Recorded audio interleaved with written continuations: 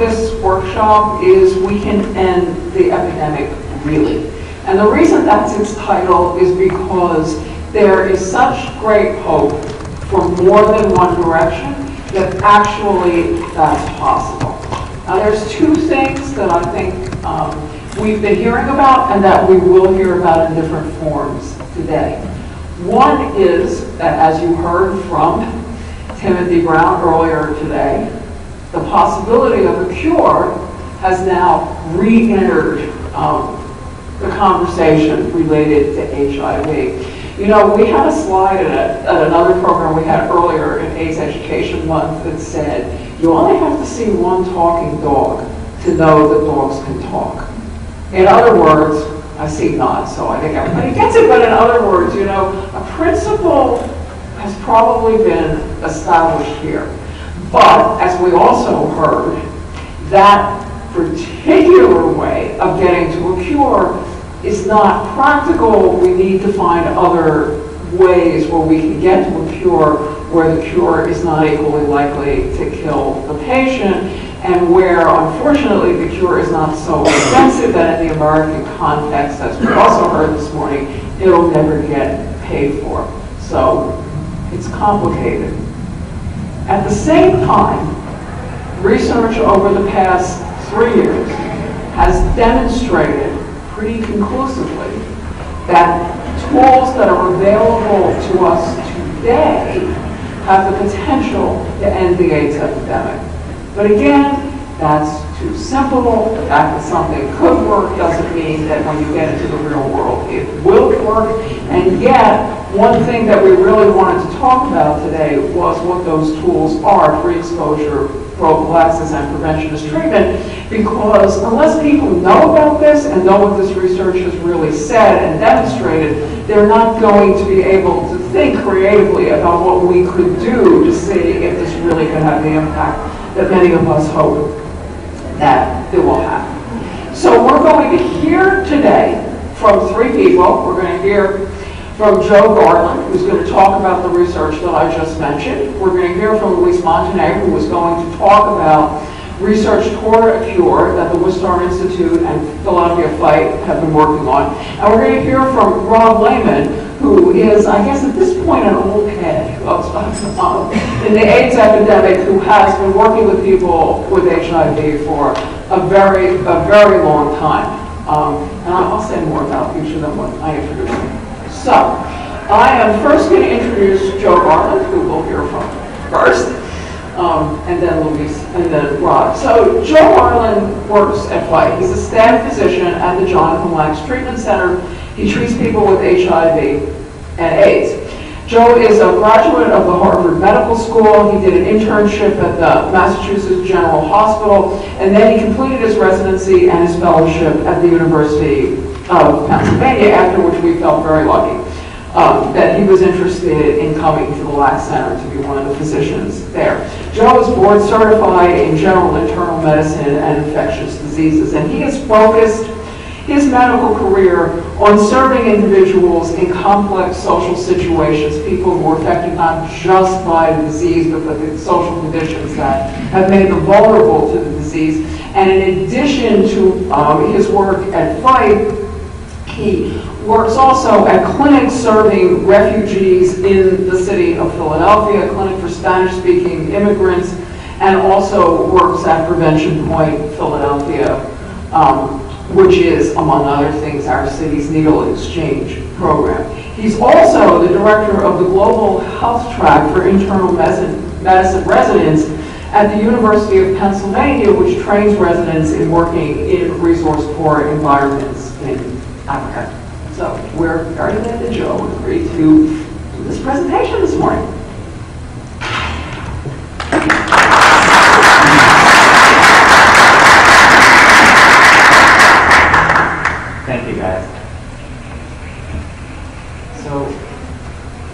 Uh, dividing up this um, this talk, the piece that I really wanted to focus on is what, what is the evidence out there today um, on these two these two new ideas um, on uh, PrEP and uh, treatment as prevention. So I'm going to talk to you a little bit about that, And then the logical transition is to what's on the horizon, which Luis is going to cover. Um, I think you would have to uh, really not be paying attention for the last couple of years not to know that there's been a lot of big news out there um, in HIV care and treatment. Um, we actually heard today from Timothy Brown, who uh, the cover of Science magazine this past year, which is a, a, a big deal medical journal, as, as I'm sure everybody knows, um, called Treatments Prevention the Breakthrough of the Year, covered the economics, the end of AIDS, um, Obama Justice, um, speech. This has been um, a huge um, uh, year, uh, past couple of years in HIV. So to talk a little bit more about these two ideas, um, let's talk about what's new in prevention. So there are already many ways that we think about HIV prevention. So education, condoms, syringe exchange, and harm reduction. Male circumcision is a newer idea, um, particularly come out of the in, in Africa. Um, PMTCT, which is a complex acronym, is prevention of maternal child transmission, um, and post-exposure prophylaxis, already part of our um, the list of things that we can use uh, for HIV prevention. Um, and to that, we've, in the last couple of years, we've added PrEP and treatment and prevention, which are really taking the idea that you can use medication um, either in HIV negative people to prevent transmission to them, or HIV positive people to prevent transmission. So, starting with PrEP. So, what is PrEP? I think most people in the room have heard of this term, but to define it a little bit, PrEP is pre-exposure prophylaxis. It's the idea that you can prevent HIV infection by giving someone antiretrovirals before he or she is exposed to HIV so that that medication essentially stops the, the virus from being able to infect that person. Um, and we know this it works for other types of infections, and there are probably better examples than these. But for example, um, in uh, people with HIV and low CD4 counts, we give them Bactrim to prevent acquiring PCP. There are people who, um, you guys probably remember the, the big outbreak a couple of years ago with anthrax. Everybody was worried about anthrax being sent through the mail. Everybody was rushing pharmacies to buy Cipro.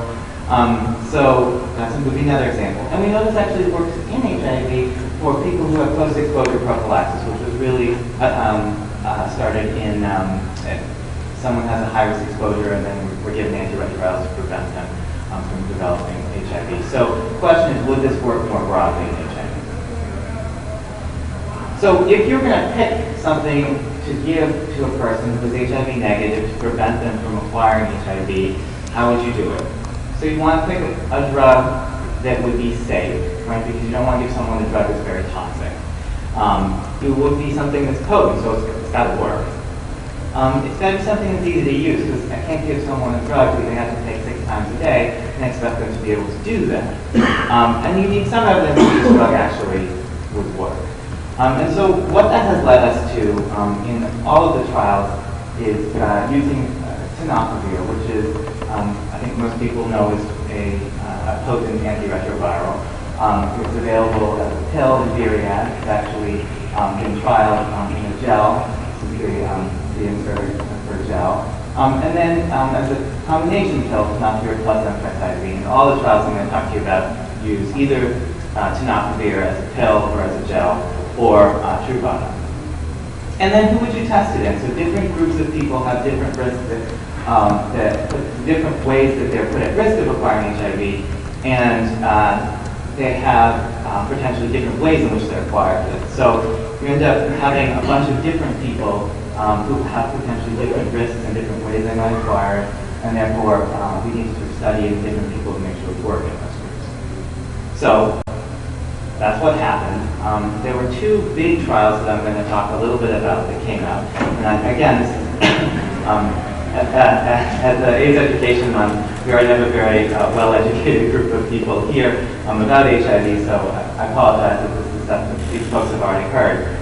The two big ones were uh, the Caprisa 04 trial, which was done in South Africa and published in Science magazine in uh, 2010. And that was using this tenofovir gel, it's a gel basically that women insert somewhere around uh, within 12 hours before intercourse and within 12 hours after intercourse um, uh, to see whether SAT gel would prevent them from acquiring HIV.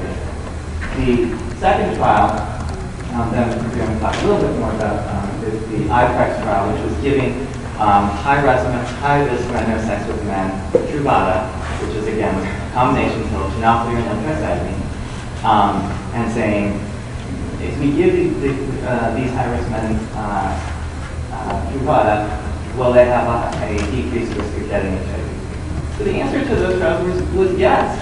Both of these actually showed a benefit. And in fact, there have been six trials uh, to date for which we have data. There are several other trials still ongoing. Um, but to summarize all these, I put this sort of messy looking table up here just to show the, both of these actually showed. And in fact, so the Caprisa 004 trial was with the tenofovir gel. It was done in um, uh, South Africa in a population where HIV is incredibly common.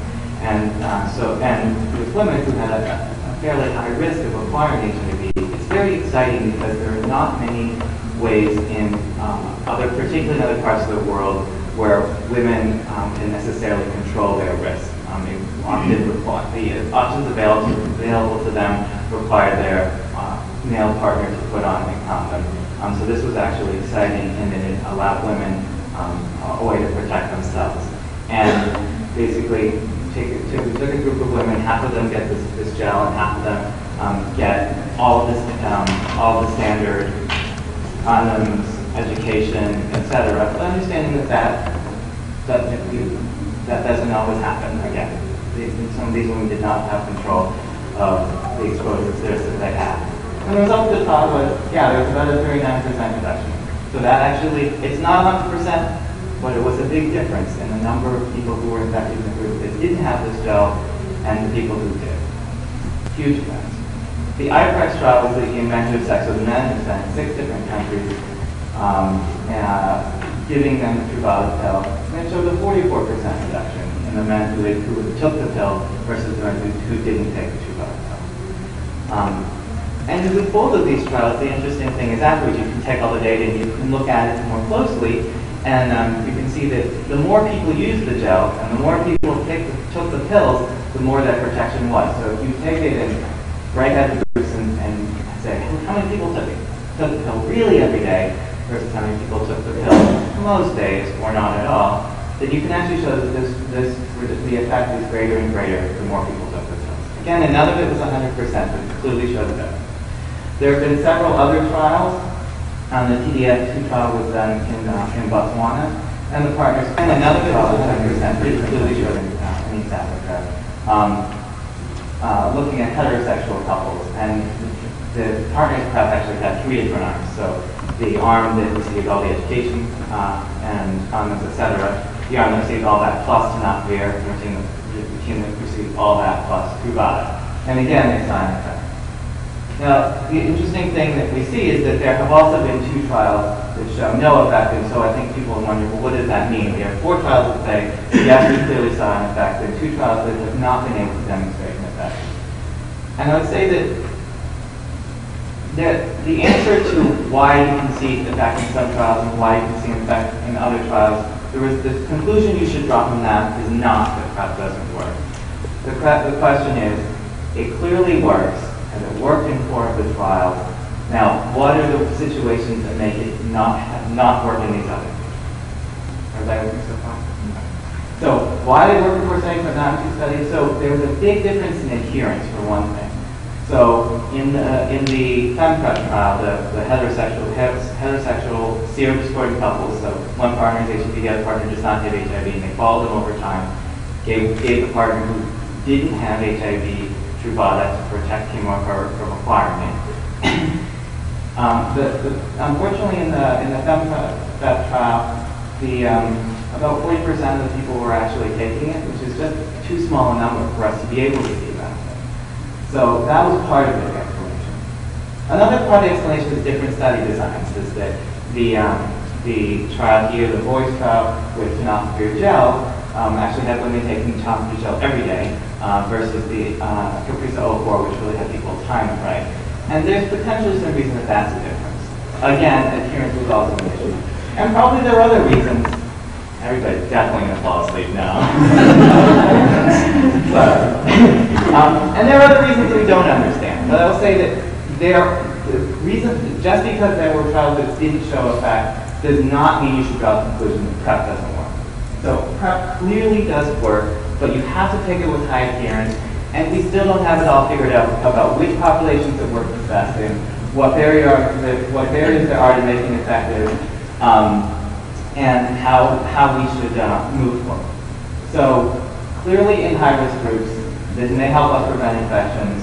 This is important data. Um, and as I think most people have heard, the FDA is poised to, um, uh, to approve uh, Truvada for, um, for patients who are um, in high-risk situations to prevent acquisition of HIV. So that's sort of the, the bottom line on that.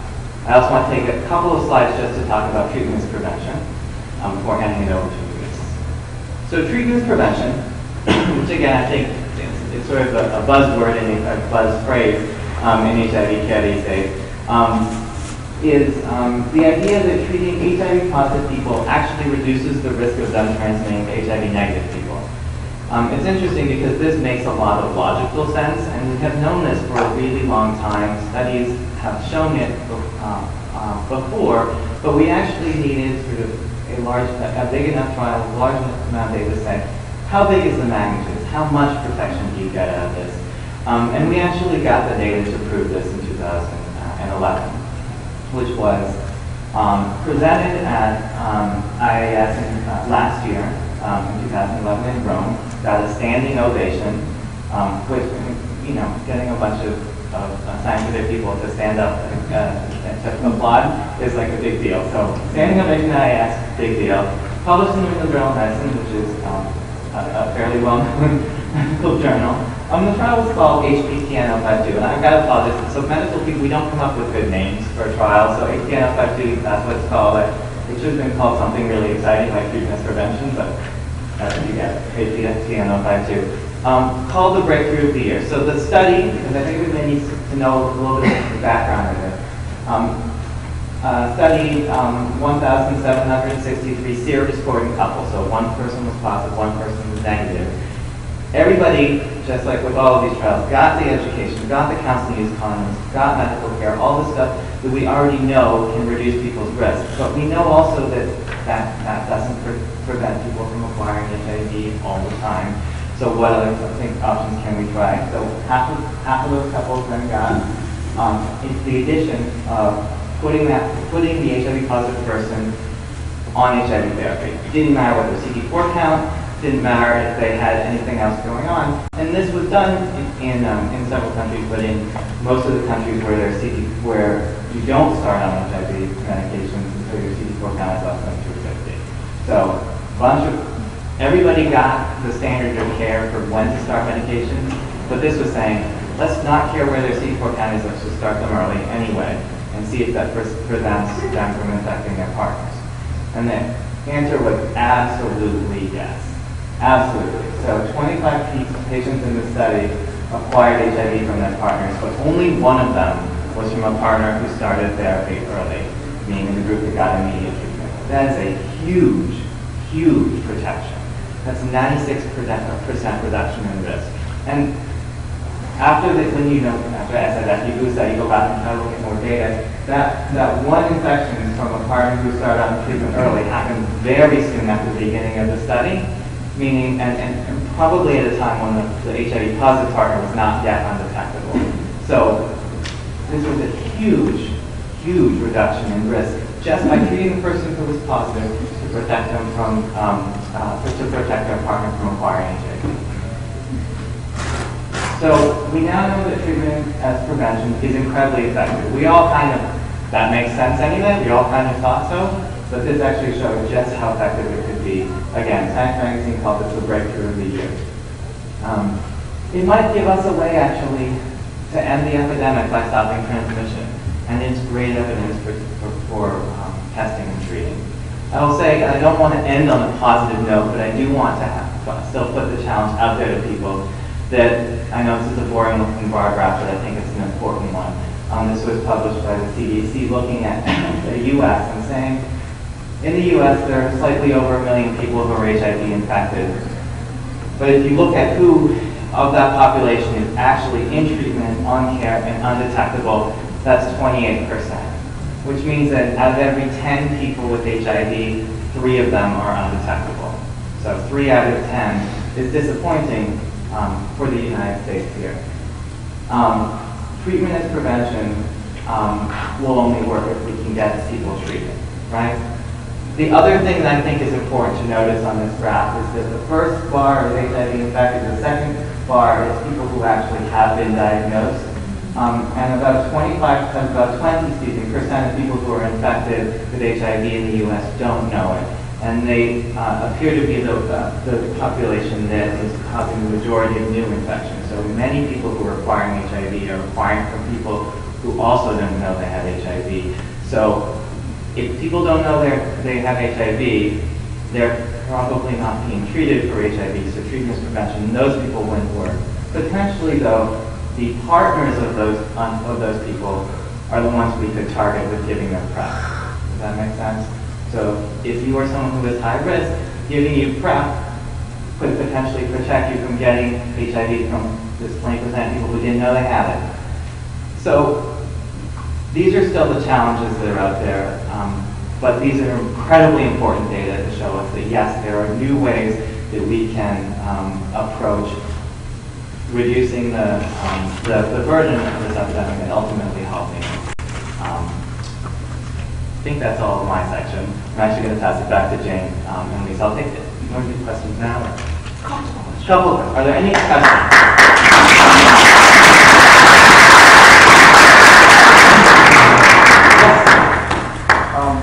You educate the people that are, are negative to start taking medication to prevent for prevention? That is an incredibly important question, and I will say that I, I don't have a complete answer for you. Mm-hmm. Um, I think it's it's really hard, right? If, if you look at anybody who already has a disease, yeah. uh, has diabetes, has HIV, you know, people who know they have HIV and know, uh, only a small percent of them are able to get undetectable. You look at people who have diabetes and how many of them get their sugars under control. And now you're saying, gonna have you, I know you don't actually have HIV, but I want you to take this pill regularly. And that was the big problem we saw in those, in, in probably in those trials that yeah. didn't show benefit. So a, a huge piece of that is, is educational campaigns, certainly, but a huge piece of that is also figuring out how, how do we tar target the intervention best? Is it realistic to tell somebody to take a pill every day, every day, every day? Or are there ways that we can say that we can study it in, in smaller periods of time that are more manageable for people? Are there ways we can make it easier for people as less frequency, et cetera? Um, but that's the huge question. I don't have a great answer for you, but that is the problem. Yes. But isn't it also going to not so much how do we educate people, but who's going to pay for it? That is. and yeah, and he was going to pay for it, and um, and it wasn't adherence. So um, yeah. I, and and uh, I agree with you. It would cost less to uh, to prevent the infection than to treat the person once infected, but that is not how our healthcare system is currently structured. Um, and, and I wish I had an answer for you on that, but I I'm a physician, not a politician. Was it a question? no, it's a, it's a, it's a question that, to which there is no answer. Yeah. This is a question about uh, the studies. Um, did they um, really, um, I guess, test out for maybe the people who did not have the virus that were, that were taking the medication would adhere to the other methods of prevention um, more so because they're taking the medication? Did they look at that at all? Um, so because I'm taking antiretrovirals, um, and not, not positive, um, would that make me start use condom more anyway? Oh, I see what you're saying. Uh, so yes, that's actually one of the things that they look at, and they do like, um, basically, they, in addition to doing sort of the pill counts to see how many people are on blood levels, people also all get the same education campaigns, and they do, these surveys about how much they've done. So uh, as far as we can tell, there was no difference in the, any of the other interventions people adhere to. And that's part of what you, what you call the randomization process, and, and you take this large group of people and randomly divide them into two groups and then give everybody the same intervention just one thing different. So we're assuming that there's no other differences between this group and this group except the pill we're giving them. So that, for example, this group will all take, will all use condoms and this group won't. Um, and they, they did look at that and there was no difference. So that's a very important question. Okay, I'm actually gonna pass it on.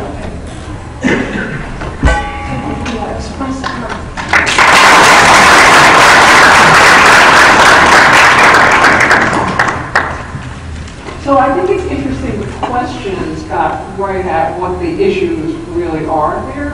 We have the scientific knowledge. We know that if people would take medicine in both of these circumstances, they could reduce their chances passing on or acquiring HIV to extremely low um, amounts. But the challenge here is, is really in figuring out, can you, can you actualize this? um, in the, in the real world. One of the things that I just want to mention, however, that I think is important to, to sort of throw into this pot, is there's actually a, a pretty big amount of fairly consistent data that says that most people who find out that they're HIV infected do take steps to try to prevent others from becoming infected. And if people were aware, if policy in Philadelphia were to change so that it would reflect what is public policy in, in New York City and in San Francisco, that everyone be offered HIV treatment when infected, offered, not forced, offered, we would actually see a difference. Anyway, moving on. Um, Luis Montaner is somebody who we at Philadelphia Fight have been working with um, since we were a very new organization and since he came to the Wistar Institute. Luis is a professor at the Wistar Institute, um, and we have been working together on studies to boost the natural function of the immune system since 1995. Luis received his DVM in veterinary medicine. It's always an interesting thing about Luis. um, at Kansas State University and his DPhil in experimental pathology at the University of Oxford in the United Kingdom. He joined the Wistar Institute in 1995. At Wistar, his laboratory combines virologic and immune system-based research using laboratory models and by working with patients enrolled in clinical trials. In addition to Philadelphia, these studies have been conducted in California, Puerto Rico, Mexico, and South Africa. He's a sought-after national and international lecturer, has published over 80 papers in the scientific literature. His variety, his collaboration with FIGHT is focused on a variety of ways to harness the immune system to control HIV, from structured treatment interruption studies that we were doing several years ago, to immune boosters such as pegylated interferon work that he will be discussing um, today. He was the lead investigator in his research that will be presented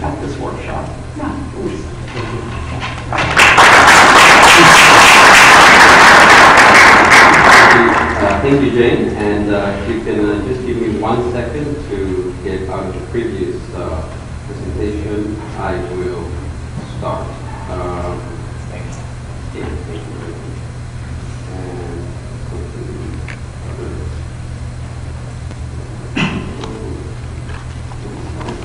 And And we're ready to go.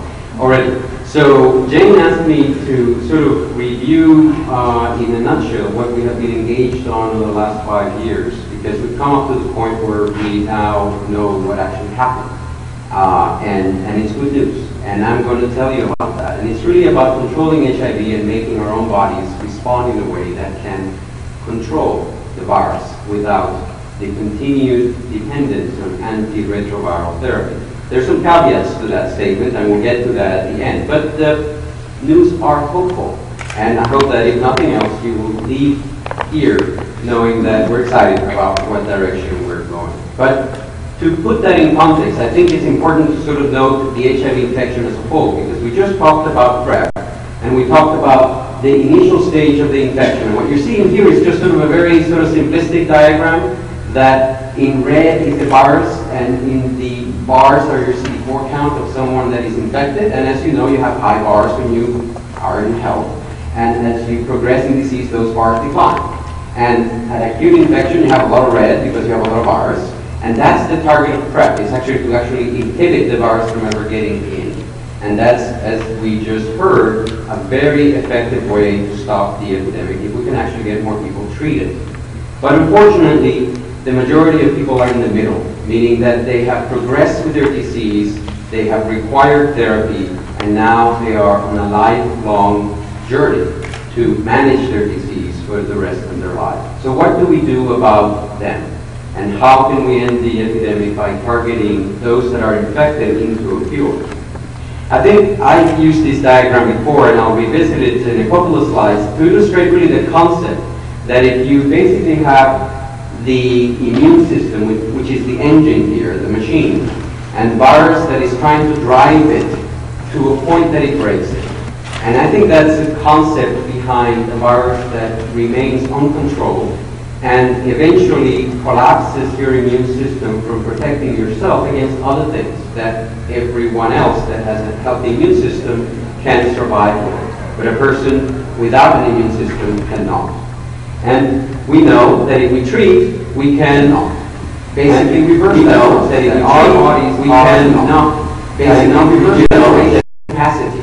That once we stop the virus from replicating, our immune systems will rebuild themselves. And we will, again, be in health because we can now not have diseases that otherwise we would be susceptible to. And this is now illustrated with sort of the machine looks shiny and everything is fine, except for the fact that we have drug that is holding back the virus. The virus is still there. The machine looks shiny and everything is fine, except for the fact that we have that virus that is holding back the way. The virus doesn't matter whether the machine looks shiny and everything doesn't matter whether your ears on ART, if you ever stop, it will come back. And that's what we refer to as the threshold that we need to pass in order to cure somebody from HIV. So we'll refer to that as the HIV reservoir. So, we want a cure. And what does that mean? So let's start by saying, what does a cure mean? Well, there's two big ideas out there. One is that the virus is gone, period. That there is no viral replication and you don't have to treat anyone. That basically that's what we call about when we talk about eradication. Out. Finito. The next concept is that, well, we can't get rid of it, but we'll keep it at bay. This is, will maybe tolerate a little bit of replication, but nothing that will worry anybody, and definitely without antiretroviral therapy. So we'll talk about that as the functional cure. And functional, meaning that your immune system can still function in the presence of the virus, just as if you didn't have it. But then it becomes kind of gray as to, well, how much is too much?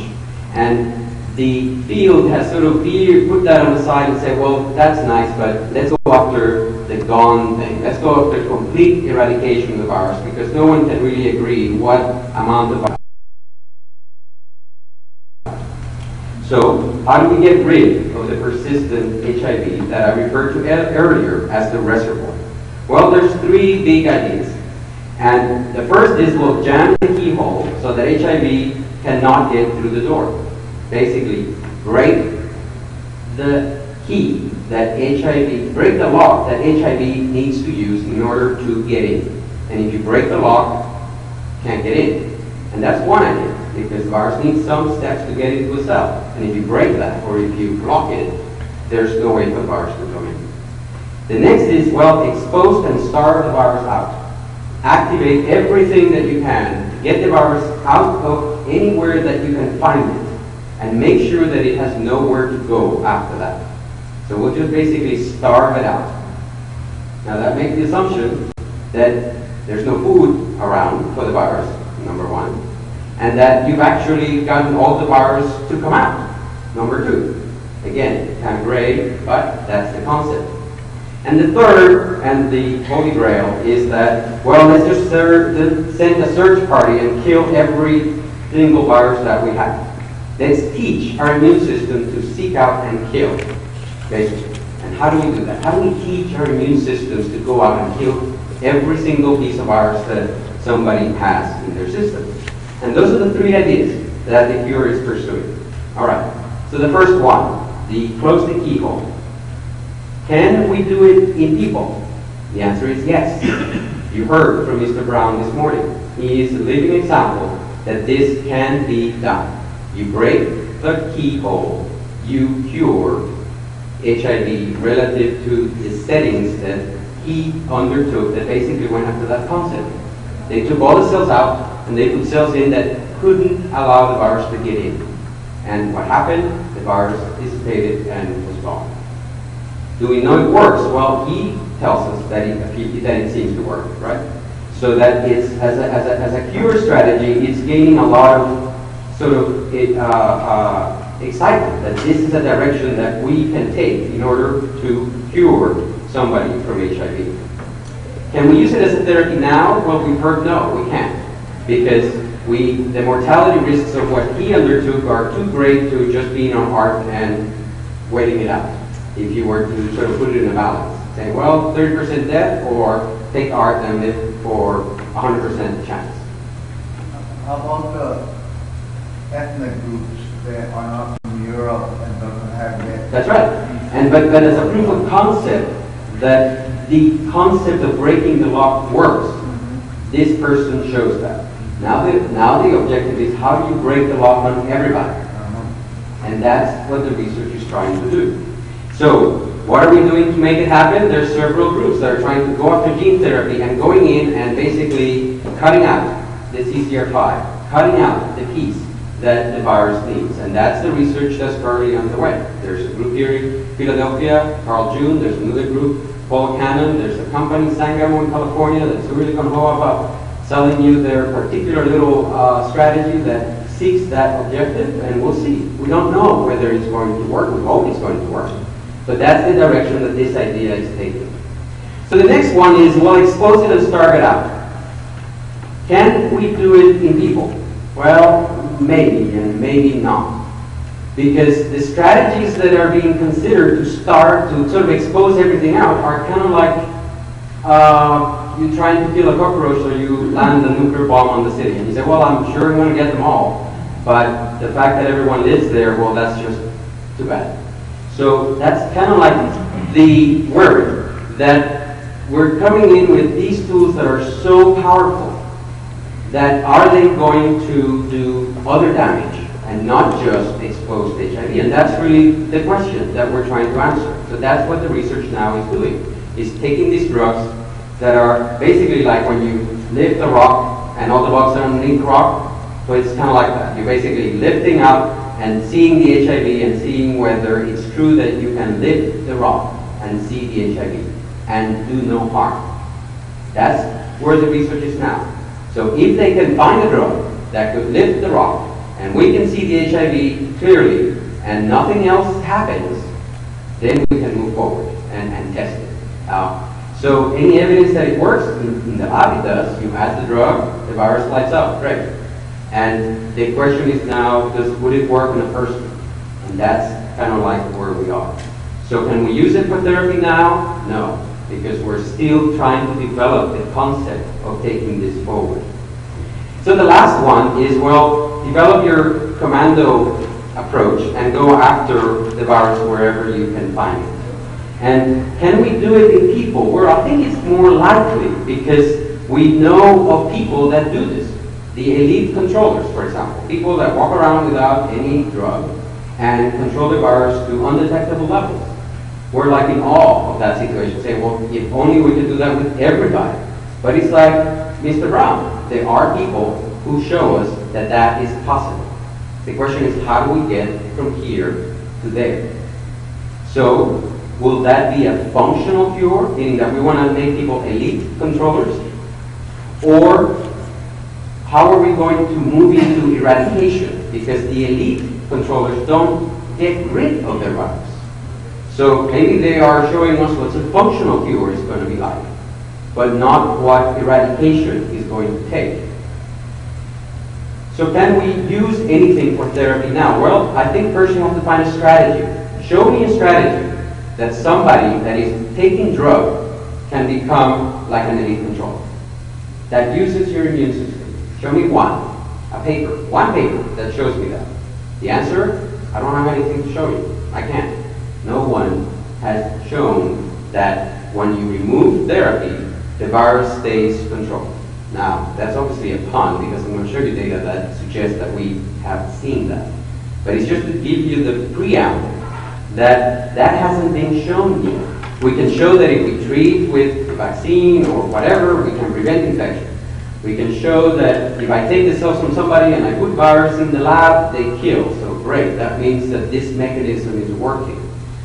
We can show that in monkeys, I can, I can give them an infection that progresses in less than two years, so it's not like the human infection. Uh, and I can intercede and see an effect. And all of these things are exciting and are needed. But then when you come back and say, okay, well, that's all great, and how many people can go from ART to control? That lost the control to begin with because they've taken drugs. And the answer is none today. But I'll show you some people that might have done that. So, to give you an example of this idea of trying to instruct your immune system, uh, Jane noted that we, uh, like others, thought that we had a good idea on instructing the immune system. So we thought, well, maybe if we recover our immune system, we just need to show it the virus, but not really let the virus do too much harm.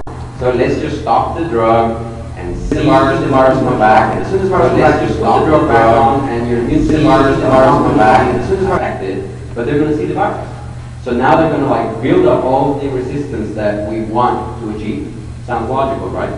So that's exactly what we did. We took two people, we kept them under, on drug, or we gave them these sort of breaks.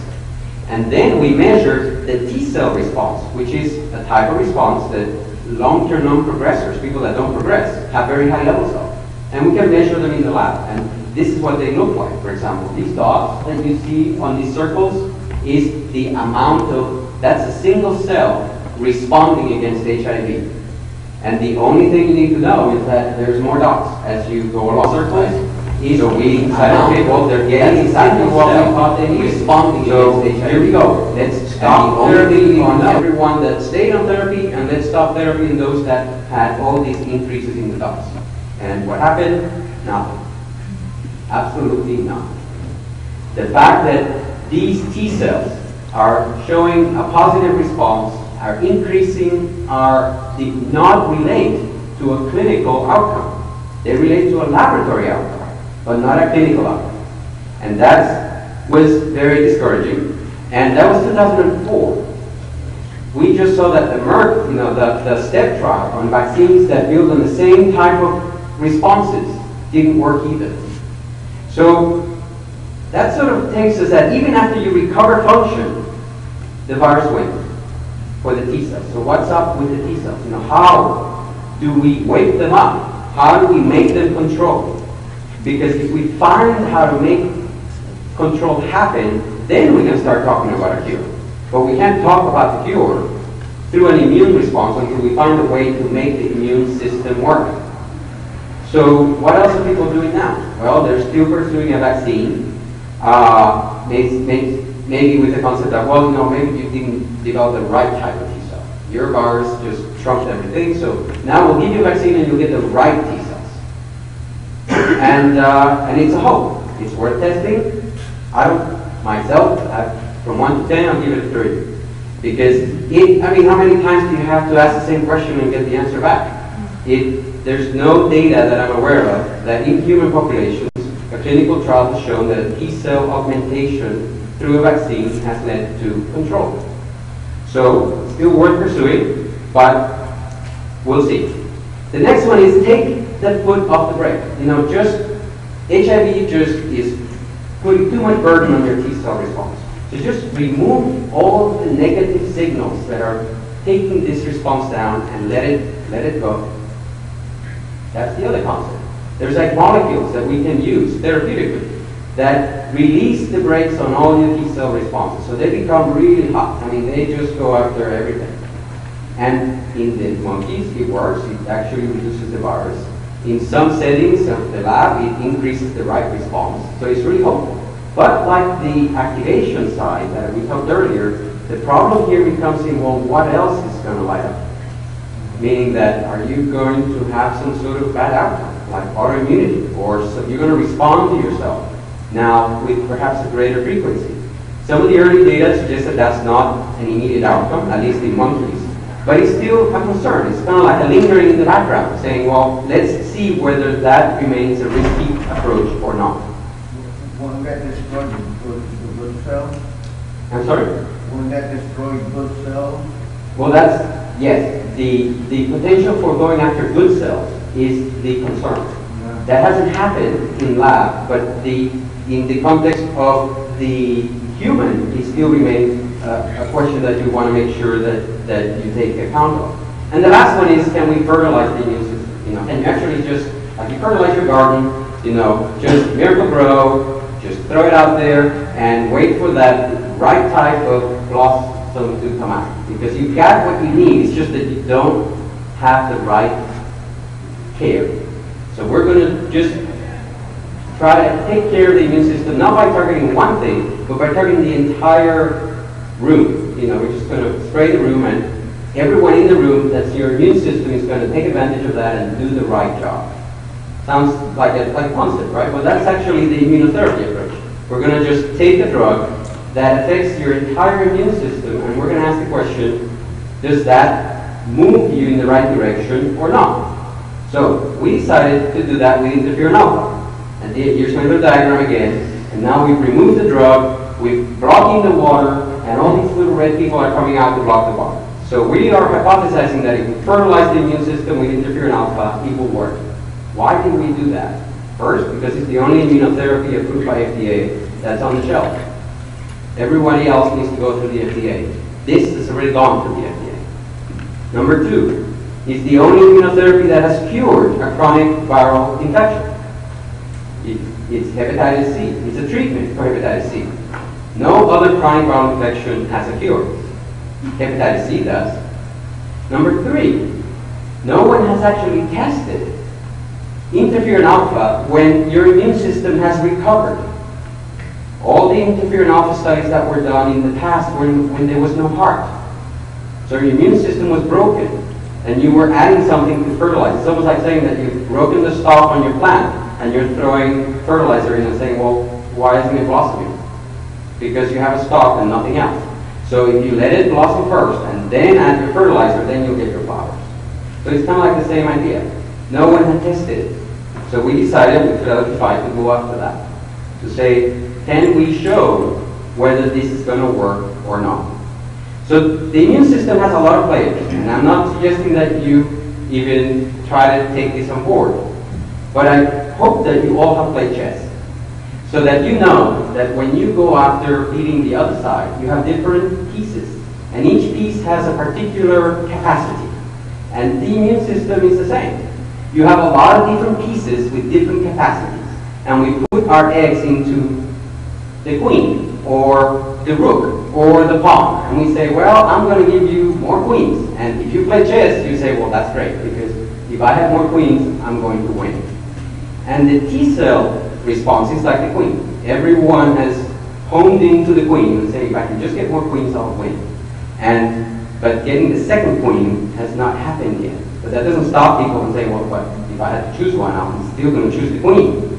And we on the other side decided to not really bother about the queen and just go after the board and say, we'll just give interferon alpha and let the immune system tell us what the outcome of that would be.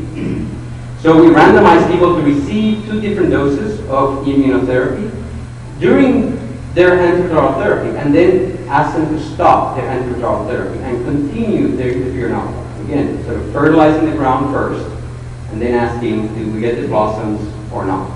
Once you remove the antiviral therapy. And obviously to do this, we needed people that were committed because this is like weekly injections, 29 of them. Interferon alpha makes you feel very, very sick.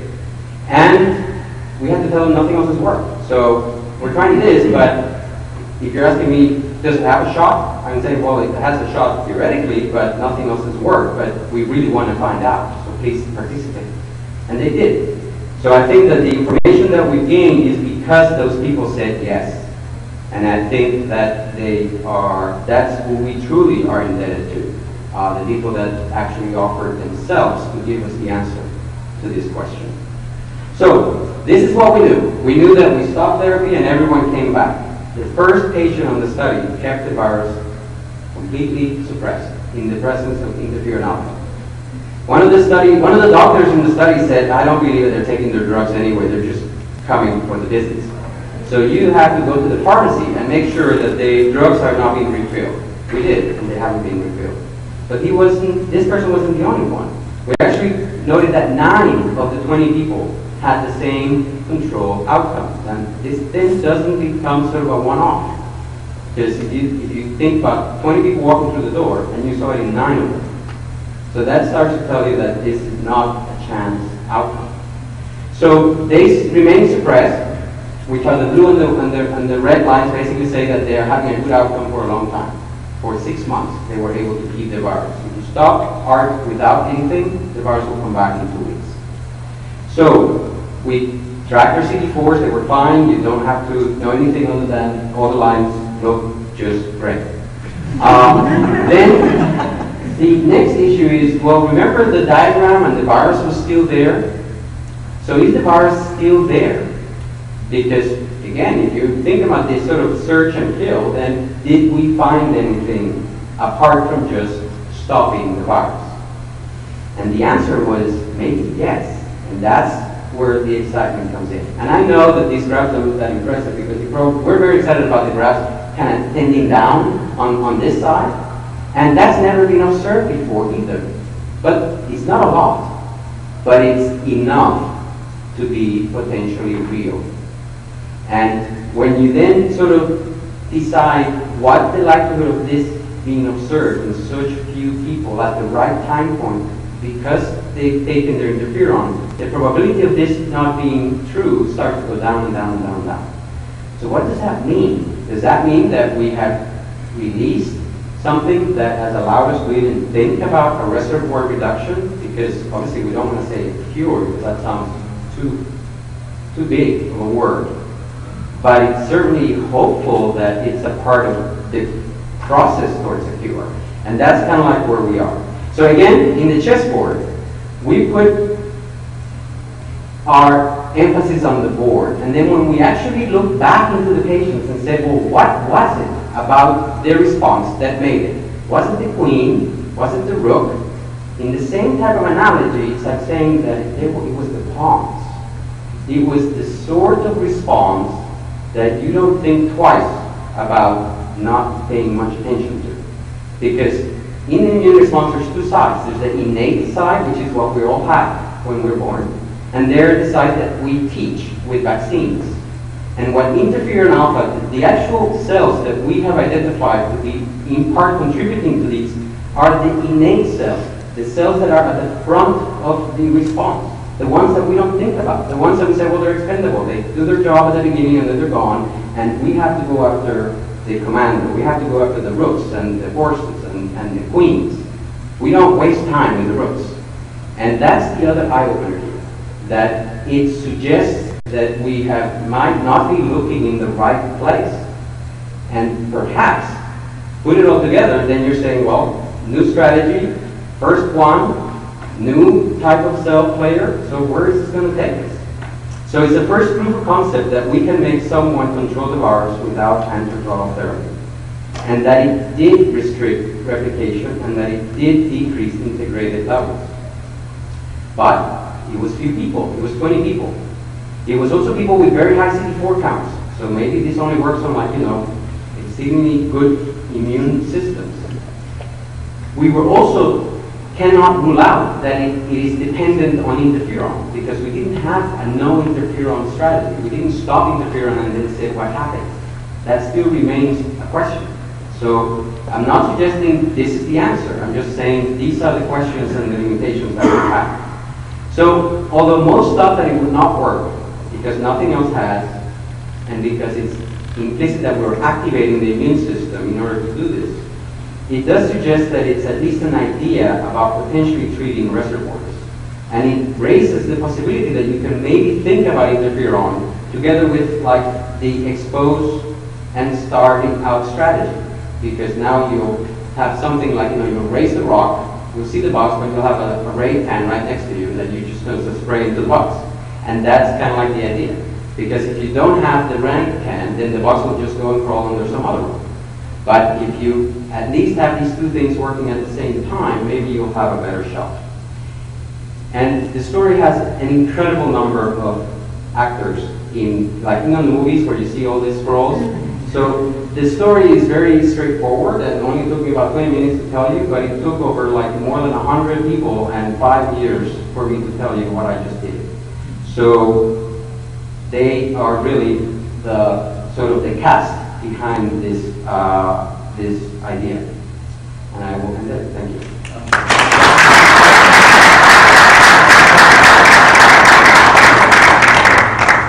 In the interest of time, we're going to move on since your hand was already up one question. Yes, I would like to find out how, how can people tolerate that interferon treatment? Yes. It- it- I mean, it's hard to even give people with hepatitis C. Yes, yes, yes.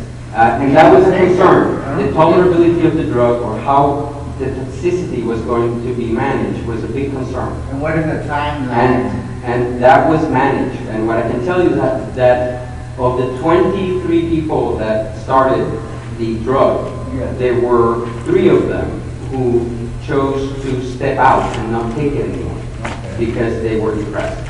And, but there was, but that in itself was, was expected because we know that interferon makes you depressed.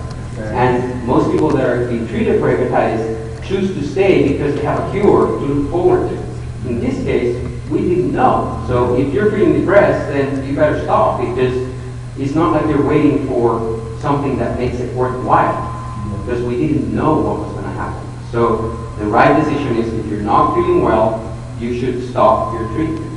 And that's what happened. So, so there were three of 20 that elected to stop because of the toxicity. I have another question. How about the, the newer, uh, uh, uh, interferon and, and and treatment? Yes. That's coming out. That's right. There's new interferon lambda and there's other strategies, but again, this is sort of like, this is a door that has opened Okay. in this idea as to how many other strategies could get the same result is obviously a research question moving forward. Okay, thank you. These are really incredibly complicated ideas, and this was really incredibly complicated research. And so could we again express our appreciation for Luis for making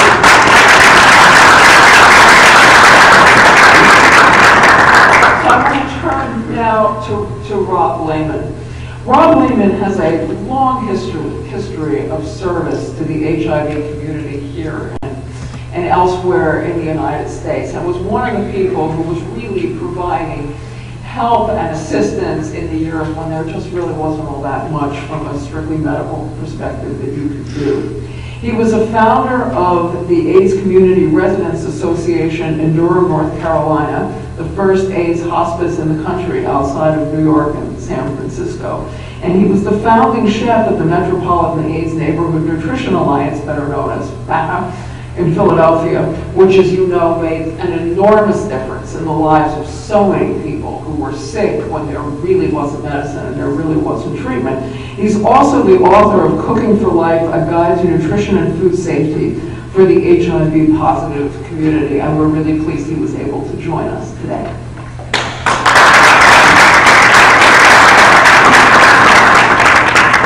Thank you. Um, What Jane didn't mention is that uh, I have been in a position sort of as a provider for a number of years and different levels. I mean, back 30 years ago, there were people who would sleep on my sofa because they'd been tossed out of their house or something like that. Um, One of the things that, uh, I'm I'm proud that my book is still available, but I'm more pleased to say that wasting is not the problem that it used to be. Um, I don't see anyone who looks wasted in this audience, and, you know, 20 years ago, 15 years ago, it would have been a very different story. Um, And that's, that's the wonderful good news of where HIV has gone and where it's presumably going now. But, um, uh, so I worked on uh, hospice concerns, I worked with nutrition, uh, and I um, worked on research, uh, and all of that was very thrilling work. And then about eight years ago, I seriously converted and became HIV positive myself. And one of the things that always surprises me is that I don't get asked more, or really at all, what the hell were you thinking? Um, Because uh, if anybody was in a position to know the risks and the outcomes and the, you know, potential damage of being exposed to HIV and contracting HIV, it was me. Um, And I think this underscores that all of the things like condom fatigue and just sheer irresponsibility are very real factors in the world, not to mention people who don't have control of their own um, sexual rights to their own bodies and stuff. So all of this research about um, prophylactic treatment uh, or a cure, I think is the only realistic way to, to stop the epidemic because, again, if anybody should have known better, it was me. And yet here I am before you today, HIV positive. Um, well, the good news for me was um, I, um, I knew that I was negative. I had been tested any number of times. And then I had the famous flu-like symptoms that uh, were pretty severe, enough to get me to a doctor, a high fever, and when they did uh, blood studies to see what infection I might have, uh, found that I had very high white blood cell count, which um, uh, indicated something other than the norm was going on.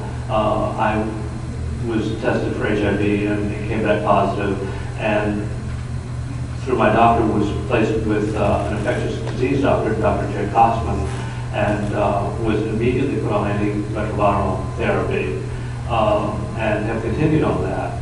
Uh, and I have to say my response has been very good. Um, my, my viral burden is undetectable, and my most recent uh, CD4 count was uh, 1,050, which uh, I'm, I'm very lucky. I was very lucky to, you know, to get myself to a very right way, to uh, intervention right away.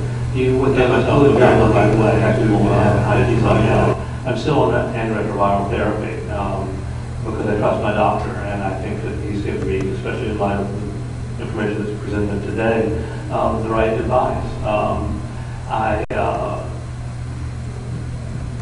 that's mostly what I have to say to you, um, is uh, I, I can't say strongly enough, um, you know, that just because somebody should know better doesn't mean that they're going to be protecting themselves. Um, what I'll say in terms of my position now and all of the issues like condom fatigue or irresponsibility, back when I was negative, I knew I was only putting myself at risk. Uh, if I were to have unprotected sex with someone now, I would be putting someone else at risk. That's a very different kettle of fish. Um, so um, the, the issue of, of responsibility is very different in my situation now than it was before. Um, that's pretty much what I have to say. I don't know if anybody has any questions for me as a, as a uh, consumer and provider of HIV services, but uh, I, I think my experience underscores what these gentlemen have said uh, in the earlier por- portion of this program. Yes, sir. I don't know if you're the right person to answer or someone else but, um, one of the, uh, uh, confusions and discern, policy. And I wonder if you would comment on that. Uh, For those of us that are not in the medical field and don't have the opportunity to participate in research work, is there something that we can, uh, assist with in terms of, uh, uh, public policy? I think James Shaw will be next, so we can answer that question. Um, it- it- Before Jake gets up, did anyone else have any questions for me? I was going to answer a quick one. So that was available eight years ago, the information. Yes. Um, you know, like, I, first of all, my name is Kwame, and, um, I'm a long-term survivor of being diagnosed with HIV in nineteen eighty-eight. And one of the things that I'm interested in is how does interferon, and maybe this is not the question for you, but how does interferon help my immune system gain a better fight against the disease if I'm not plugged into, uh, interferon treatment? I think that's a question for Luis. Um, So, shall I turn this over now? Excuse me, I'm sorry.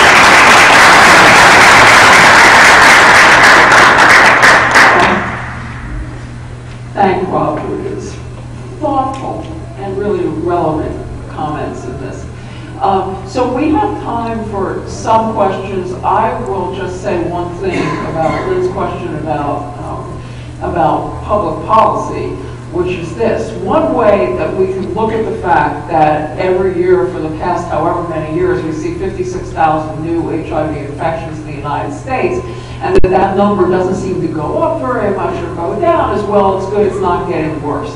The other way to look at it is, it is a great failure of public policy, that we have not been able to figure out a way to make it clear to people that their, what their risk is and found ways to, to encourage people to take steps to reduce that risk.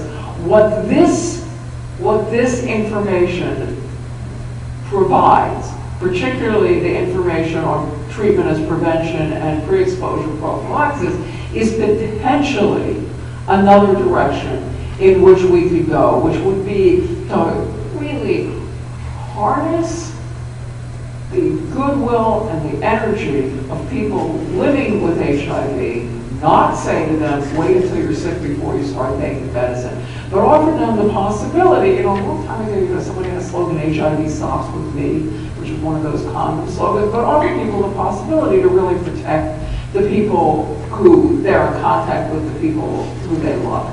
That's the potential here.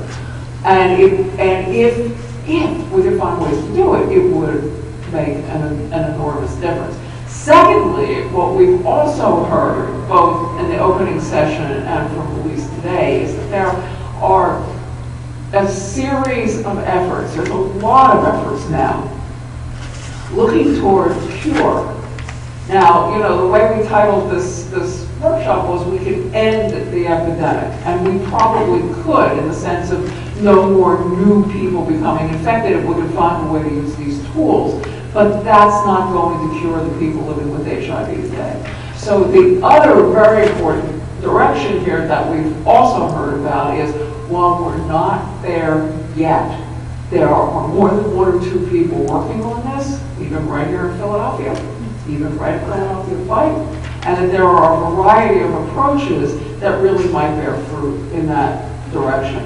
So the other question that was asked is, well, how does interferon work? So, so to answer your question, uh, the short answer is that it's working for you now. Uh, and it's, it works for all, it, it's part of a, a working immune system that this component will help in controlling any infection, like after you're flu infected or whatever, it's one of the responses that starts the process. So that, and in the analyses that have been done in individuals that are the elites, you know, the ones that control the virus very, to a very low level, they've been able to show that these responses are there in, to some extent with, with, uh, with a greater extent. So, but not in all of them, in some of them. So, so the, the right way to think about it is that in a normal immune system, it's a very important component that helps the control occur. In a system that is not working, it may be a good strategy to jumpstart it. But as far as what can you do with someone that already has control, for example, can you introduce this to jumpstart what can you for them with someone that already has control and go even deeper in their control? That question also is an open question. We don't know. Uh, we would have to do a study where we treated individuals that are not taking antiretroviral therapy that have a very low level and then ask, well, were they able to take that level to even a lower level and was it sustainable? And that is a research question.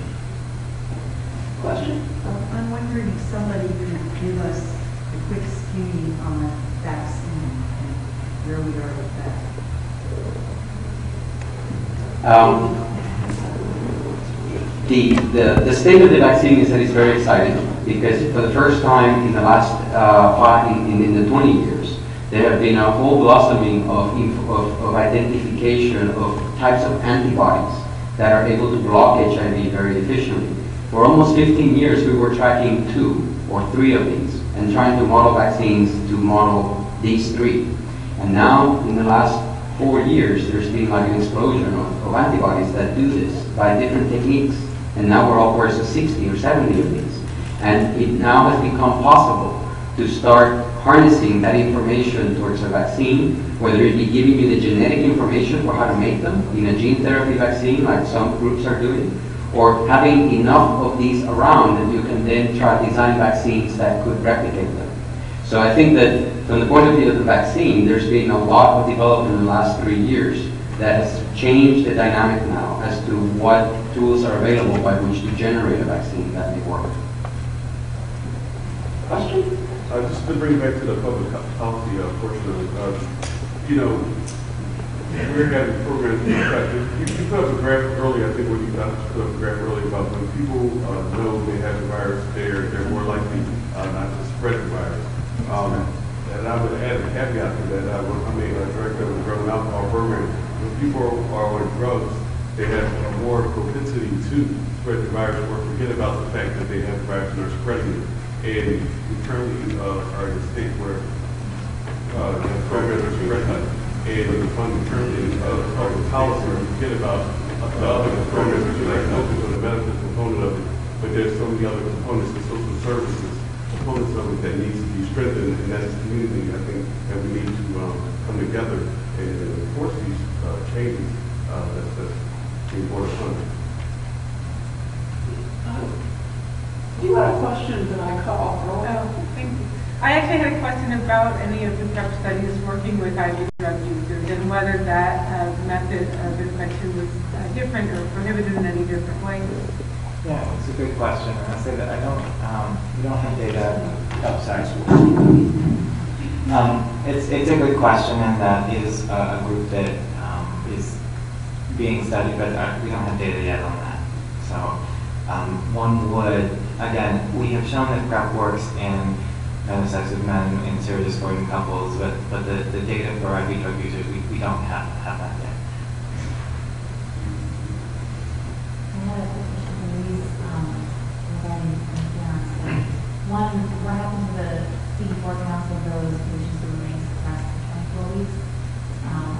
two, are you planning to look at longer duration time off of therapy forward?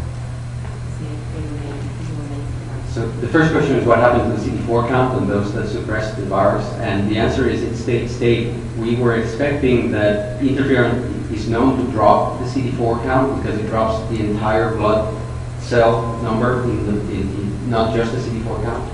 And we were, we didn't know whether that would continue to go down or, or to what extent it would go below a level that we weren't comfortable with. And uh, so it just dropped proportional to the highest amount. Those that had the high CD4 had the biggest drop. Those that had sort of 500 didn't drop as much.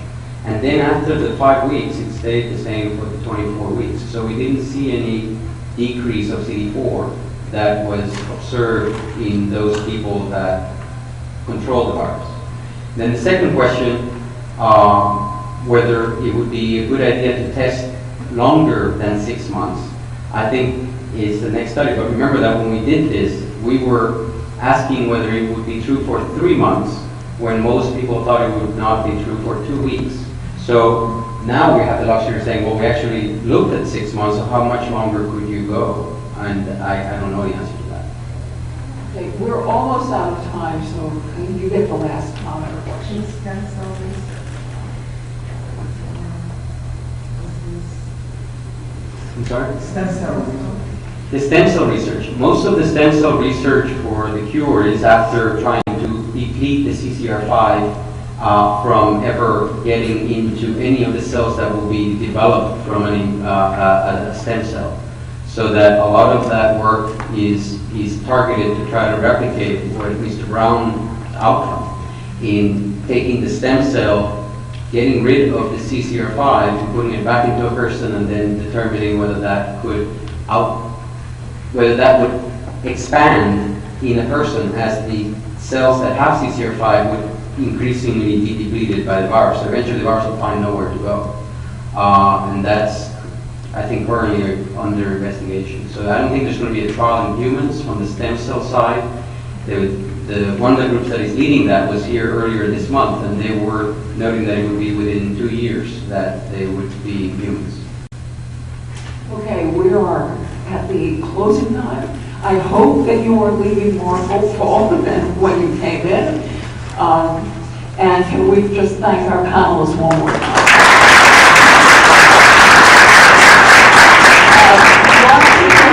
Uh, please fill out the evaluation forms hand them in in the back of the room. And enjoy the rest of your day.